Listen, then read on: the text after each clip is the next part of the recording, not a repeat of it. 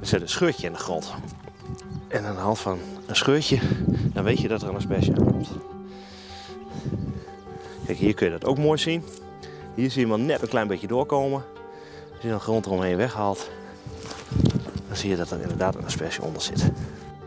Voor liefhebbers van asperges is het paasweekend compleet.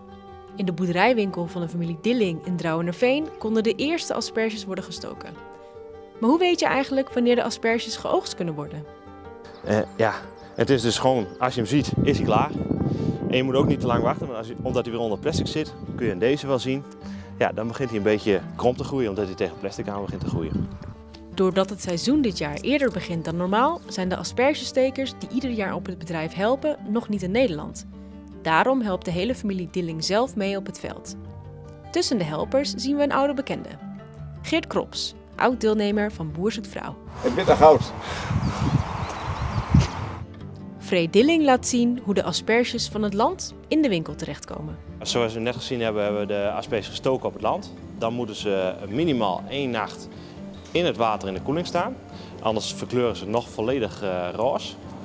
En uh, nou, na die nacht dan halen ze uit het water en dan gaan ze op deze machine, dat is de automatische sorteermachine.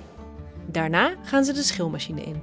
En dan uh, zitten de mesjes allemaal op verschillende hoeken zitten in de machine.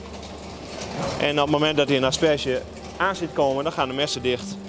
En dan begint hij net achter het kopje begint hij, uh, te schillen. Staan er vanavond bij de aspergeboer ook asperges op tafel? Uh, ik denk het wel, als er nog wat over is. ja.